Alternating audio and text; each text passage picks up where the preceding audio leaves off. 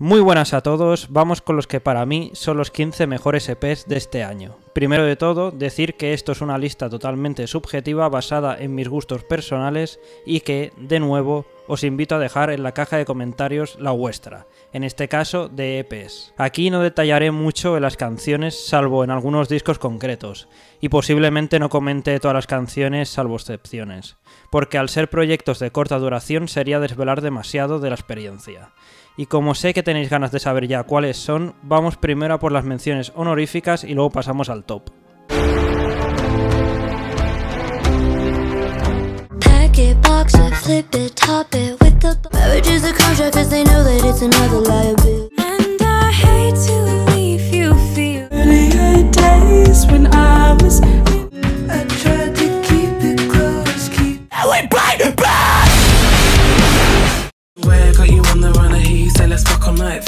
Empezamos esta lista con una de las nuevas artistas más interesantes de la electrónica que he escuchado en todo el año, y es la cantante y productora inglesa Shy Girl.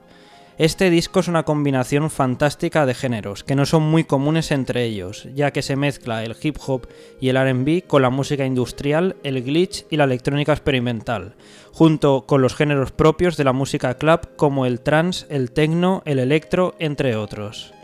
Es complejo por una parte, pero con melodías muy bailables y ritmos pegadizos al mismo tiempo. Además de tener muy buenos estribillos y voces cargadas de efectos vocales que complementan a la perfección la estética de los temas. En cuanto a las letras, se nota que el nombre de Shigel es ironía. Ahí lo dejo caer ya que los curiosos indaguen más en ellas que yo no quiero que me cierren este vídeo. Es sin duda un muy buen proyecto pero el motivo por el que lo he puesto tan arriba es porque lo escuché hace un par o tres de semanas antes de subir este vídeo y no lo he escuchado tanto como otros de más abajo del top. Skull Crusher es una cantante y compositora americana de indie folk, y este es su fantástico EP debut. Este es un proyecto muy corto de solo 4 canciones y 12 minutos de duración. Uno de los puntos fuertes del disco respecto a otros proyectos del género es el sonido tan especial. Es una mezcla de guitarras acústicas con un punteo marcado mezclado con pasajes electrónicos que le dan una atmósfera cálida y suave a la vez que dramática.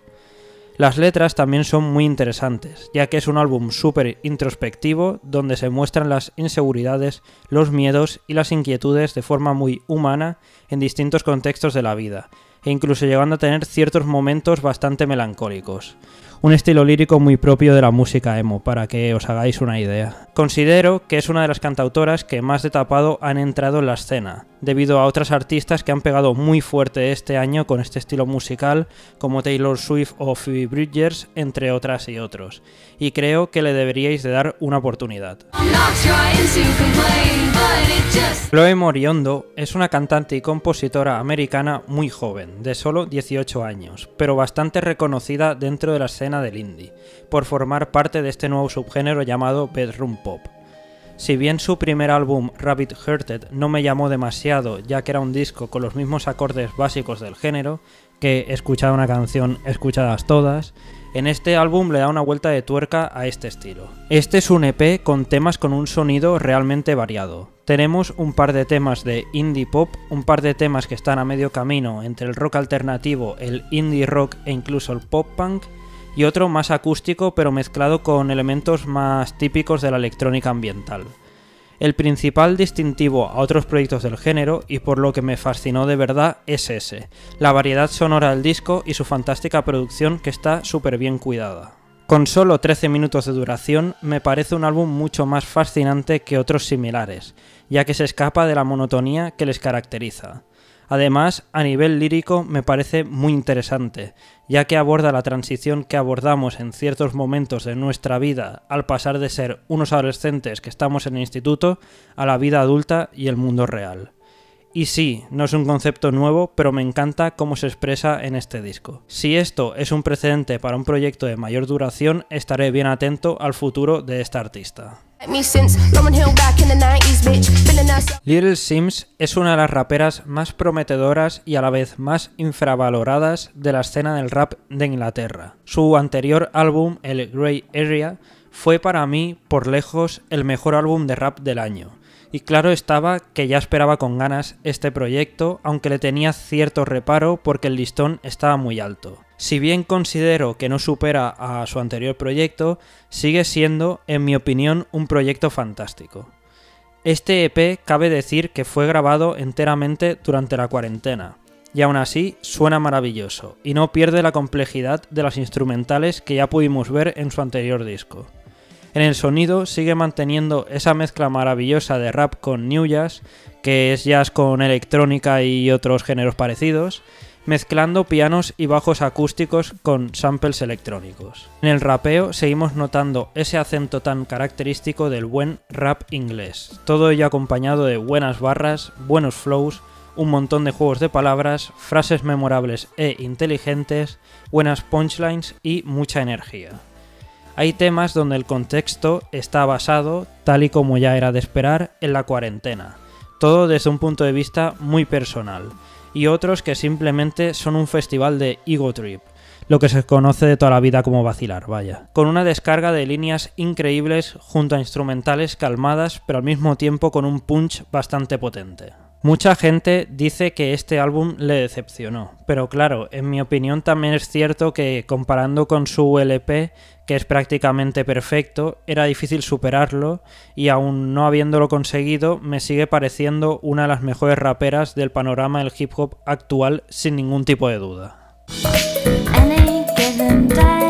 Este es uno de esos grupos de los que también hablé en uno de los calendarios, más en concreto en el de septiembre pero para quien ande perdido es el dúo que integra el guitarrista del grupo americano de indie pop y chiptune Crying llamado Ryan Galloway y la cantante y compositora coreana Michelle Zauner, también conocida como Japanese Breakfast, que hace un estilo a medio camino entre el indie rock, el indie pop y el pop experimental. Pero esta vez ambos artistas abandonan parte del sonido que habían realizado con sus correspondientes proyectos para traer esta maravilla de synth pop mezclado con melodías propias del city pop de los 80s. Un disco cargado de melodías pegadizas a más no poder, acarameladas y con mucho ritmo. La producción de este proyecto es maravillosa, tanto los riffs de guitarra como las líneas de sintetizadores, las líneas de bajo y por supuesto las cajas de ritmo, que consiguen aportar esa ambientación tan feliz propia del bubblegum pop. En cuanto al contenido lírico, más de lo mismo. Trata de la felicidad que se genera cuando se inicia un romance, todo ello desde un contexto súper feliz e incluso veraniego, que estoy seguro que os hará escapar más de una sonrisa. Si os gustaron discos como el fantástico Bonito Generation de Quero Quero Bonito o el Poppy Computer, sin ser tan excéntrico como este último pero un aire tiene, este EP es de escucha obligatoria. Quizás lo único malo que puedo decir de él es que solo tiene 4 canciones con un total de 13 minutos de duración pero sinceramente es lo único negativo que puedo añadir, porque todo lo demás es maravilloso. Ojalá este sea el pretexto para un proyecto de larga duración en un futuro. Creo que posiblemente este sea el proyecto de pop punk más infravalorado del año, y cuanto más lo escucho, más se me confirma esta teoría. Con un proyecto de solo 9 minutos de duración y 5 canciones en total, el grupo americano nos consigue transportar a la época dorada del género. Cada uno de los riffs de este disco son una delicia, y estoy seguro de que más de uno de ellos os parecerá que estéis escuchando un tema alguna cara B perdida del Dude Range de Blink 182 o incluso de la banda Sum 41, que quiero recordar que hizo una reseña este año su segundo álbum que se llamaba Does It Look Infected con algunos de sus primeros discos. Digo exactamente lo mismo con las letras, pero al mismo tiempo con una personalidad propia. Con su corta duración, comentar más sería desvelar demasiado. Por eso os insto a que descubráis el proyecto de una de las nuevas bandas más prometedoras de todo el panorama del pop punk. Tekai Maizda es una cantante y rapera australiana que sacó su álbum debut en el año 2016 llamado Tekai, donde ya había una mezcla curiosa de varios estilos dentro del hip hop y la música electrónica. Pero he de admitir que, aunque me gustó, había algunos temas que no me terminaron de convencer. Pero a finales de 2018 sacó el Last Year Was Weird Volumen 1, que también estaba bien, pero no me llegó a atrapar. Pero a pesar de todo me seguía llamando la atención por el cambio de estilos en constante evolución y finalmente se han consolidado de forma excelente con este último proyecto aparecido este mismo año que se llama Last Year Was Weird Volumen 2. Sin duda, la parte más destacable del EP es la variedad sonora del mismo. Si bien todos los temas son rap, a excepción de You Sad, que es un tema de RB con una producción sofisticada, feliz y dulce, hay una fusión de géneros realmente fascinante. Desde temas con elementos de New Jazz y Neo Soul mezclando con elementos psicodélicos en ocasiones, otro tema que mezcla con Dance House con un estribillo súper pegadizo y un flow brutal, otro tema más tirando a bass music pero mezclado con elementos de trap, un par de temas con una estética más oscura que el resto del álbum que mezclan trap con elementos de música industrial y electrónica experimental, un poco así rollo Death Grips pero con mucha personalidad. Y aparte de que está cargado de estribillos pegadizos, en cuanto a las letras tenemos barras súper inteligentes donde se muestra la visión propia del artista sobre la realidad en la que vive. Aunque como siempre tenemos temas donde son más de ego drip y Tekai Maizda no solo tiene sobrado talento para cantar, sino que como rapera tiene una habilidad por encima de la media. Y si todavía no la habéis escuchado, la recomiendo encarecidamente.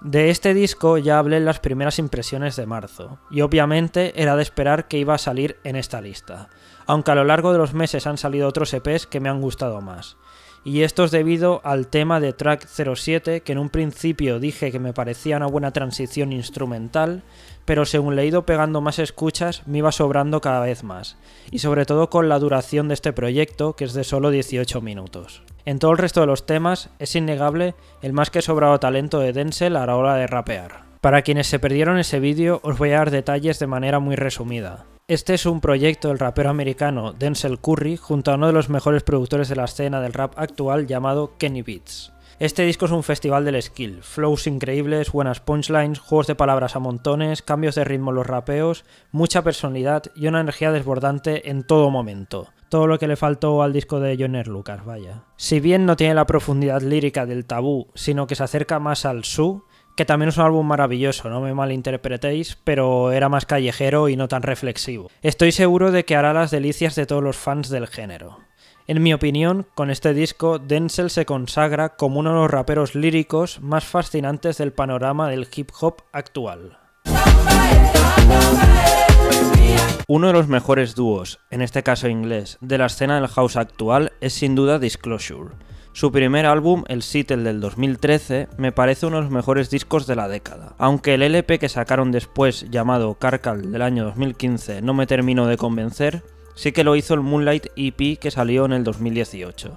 Y por supuesto, este nuevo EP ha aparecido este mismo año, llamado Ecstasy. A diferencia del Moonlight, que era un disco con una ambientación mucho más nocturna, en este caso nos encontramos un maravilloso disco de Deep House con raíces africanas, en ocasiones bastante cercanas al Afrobeat. Un disco con melodías súper bailables y pegadizas hasta decir basta, y con una producción de house propia de la vieja escuela de UK una percusión fantástica y además con muy buenas transiciones y con loops integrados con un gusto exquisito. Es un disco que he escuchado muchísimo desde que apareció. Sobre todo es ideal para cuando tienes un día un poco torcido y necesitas algo que te levante el ánimo. Sé que muchos me vais a querer matar por añadir este grupo en el top. Multiplícate por cero, tío, te K-Popper.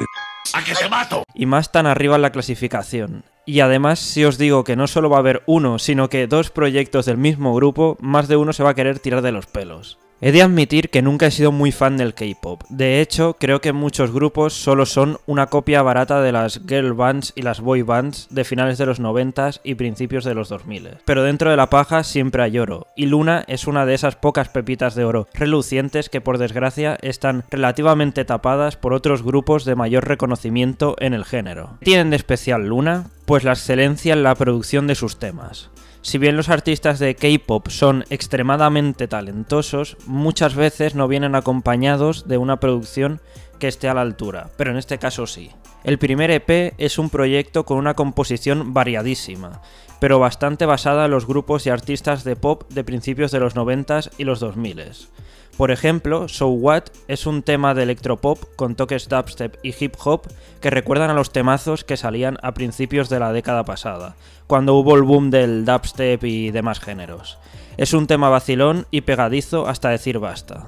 Por otra parte, el segundo EP tiene un sonido mucho más ochentero, pero al mismo tiempo con toques más modernos, quitando de Oops, que es un tema que tira más para el Moombatun, que es un género que al parecer tienen bastante fijación los productores de K-pop y quizás es el único punto flojo de ambos proyectos. Tenemos temas de electropop con ritmos funky y toques disco, luego otros temas con un estilo más parecido al city pop, con esa producción tan sofisticada y dulce del género y temas más tirando al bubblegum pop ochentero y por supuesto nuestra maravillosa balada de turno. Además, he de admitir que tanto So What como Why Not que es uno de los temas de electropop con ritmos funky y toques disco que destaca por tener un bajo electrónico con un ritmo ultra pegadizo, son dos de los singles que más he escuchado a lo largo del año.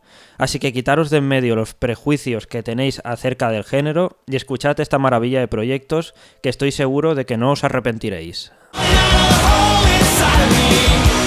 La que posiblemente sea, en mi humilde opinión, la mejor nueva banda de pop punk de los últimos años, nos trajo de nuevo otro proyecto maravilloso. La banda canadiense Poop ya sacó en 2019 el que fue su tercer álbum llamado Morbid Stuff, que si os gusta el pop punk no sé a qué estáis esperando a escucharlo, abandonando ese sonido más propio del punk rock y el hardcore punk de sus dos anteriores proyectos, para traer melodías algo más accesibles propias del pop punk. Este EP no deja de ser una especie de caras B de este proyecto anteriormente mencionado, ya que todas las canciones fueron grabadas en el mismo momento que su LP, pero era de esperar que de un proyecto fascinante solo podría salir otro igual de fantástico. Desde que presentaron su primer single llamado Rot, ya me pusieron las expectativas bien altas para este nuevo proyecto, ya que es un tema con una energía increíble, unos riffs de punk maravillosos y un contenido lírico cargado de autocrítica.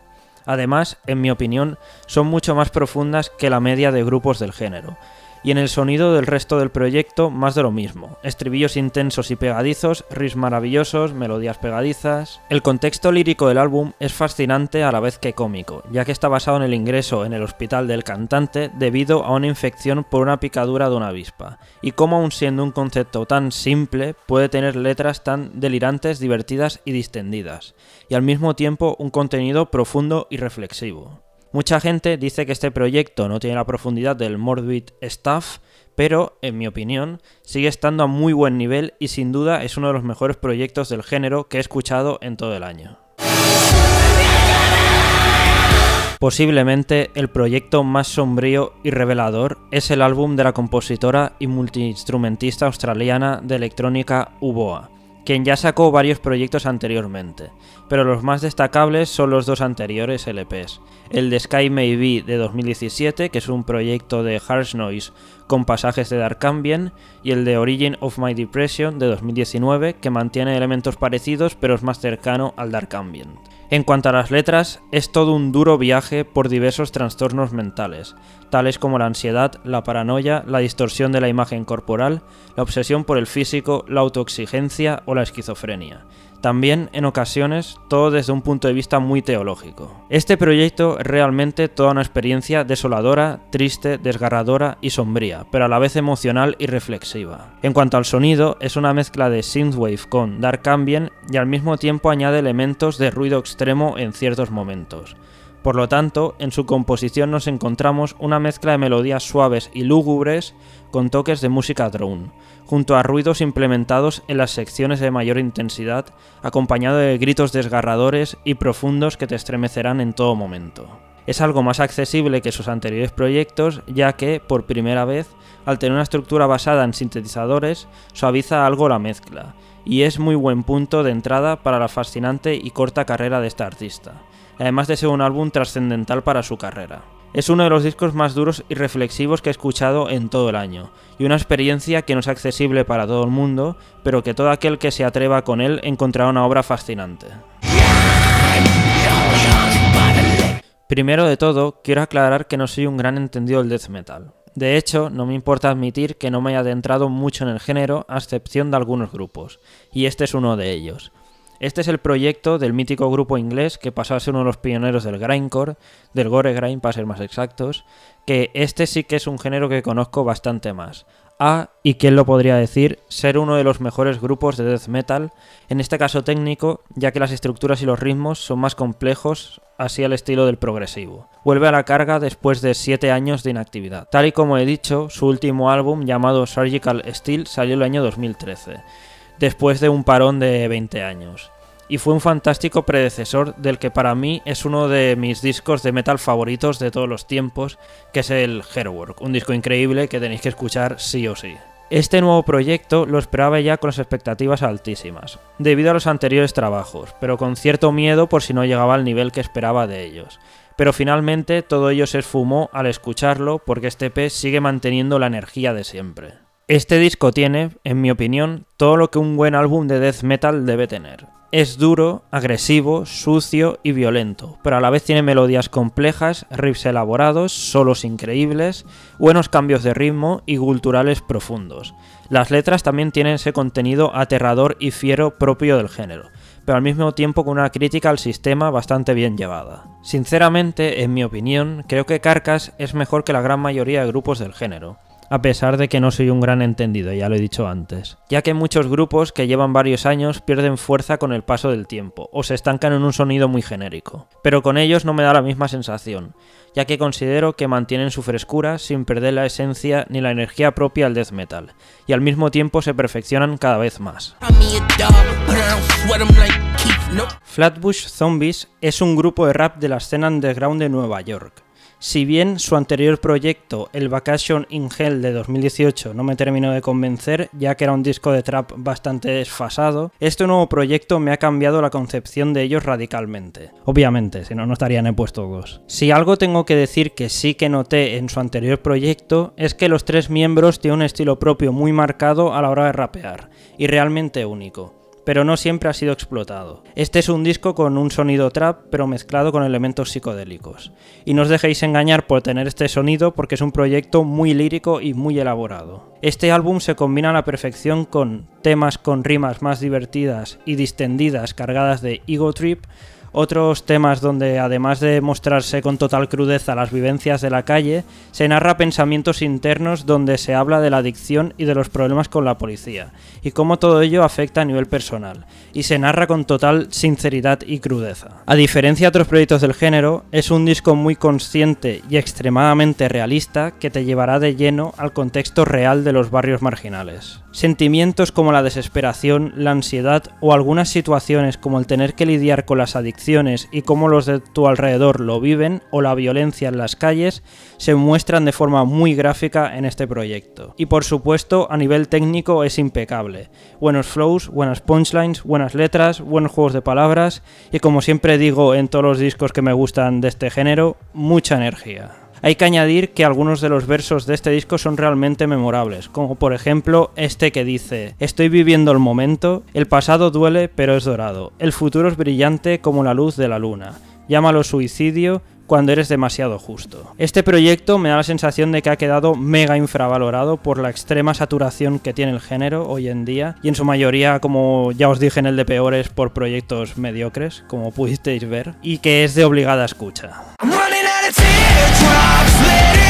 Y qué mejor primer puesto que el pedazo de disco que han sacado los Bring Me de Horizon. Sé que los que me conocéis sabíais que este disco iba a estar seguro en el primer puesto, y no es para menos. Todo algo que se pueda decir a este pedazo de proyecto que han sacado los Bring Me de Horizon se me queda muy corto. Y eso que nunca he sido muy fan del grupo, pero esta vez lo han bordado. Desde que escuché el tema de Teardrops me di cuenta de que este disco tenía algo especial, y os prometo que cuando lo estaba escuchando parecía que el mismo Chester, que en paz descanse, había bajado de los cielos y se había reencarnado para interpretar esta canción. Parecía como si estuviera escuchando algún tema perdido del Hybrid Theory o del Meteora, y sin duda eso fue un punto de partida excepcional. Pero esto no se quedó en un tema y ya, este es un álbum donde el contexto principal es la pandemia que estamos viviendo, y se mezcla de forma fantástica la crítica social con el estado mental de muchas personas en esta época, donde la melancolía y la tristeza están a la orden del día. Y el estilo lírico es agresivo y violento a la vez que consciente y reflexivo. Aquí lo mejor de todo es cómo suena el disco, que a mí a día de hoy me sigue poniendo los pelos de punta.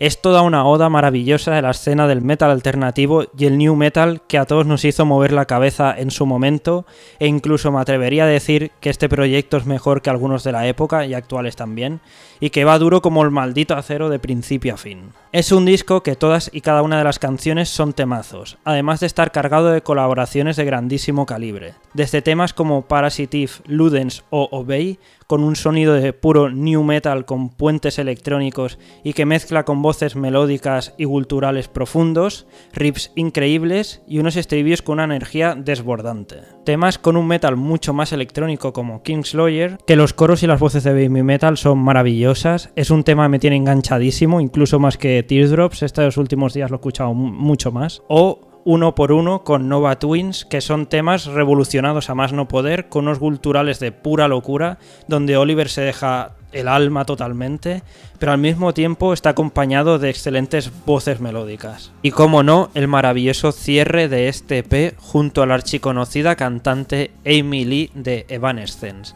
llamada One Day que es una balada lenta, emocional y preciosa, donde ambas voces se combinan de manera excelente. Este disco salió a finales de octubre y yo lo escuché un par de semanas después de su lanzamiento, y aún así os puedo asegurar que lo he escuchado y lo sigo escuchando mucho más que otros proyectos de esta lista. Y si todos vosotros no lo habéis escuchado, sinceramente no sé a qué estáis esperando. Porque seáis fans del metal alternativo o no, estoy seguro de que os va a fascinar. Y si esto es el precedente de un proyecto de larga duración en un futuro, estaré muy atento. Por último, remarcar que las listas las he querido separar en EPs y LPs, para dar cabida a otros proyectos que quizá si hubiese juntado ambas listas no hubieran estado presentes pero que, si tuviera que elegir mi proyecto del año en general, este sería mi segura elección. Y con eso ya os lo digo todo. Y nada más que añadir, estos son mis 15 EPs del año, más las menciones honoríficas, y ya os emplazo a la siguiente lista, que ya os digo que será la de los LPs, así que hasta el siguiente vídeo.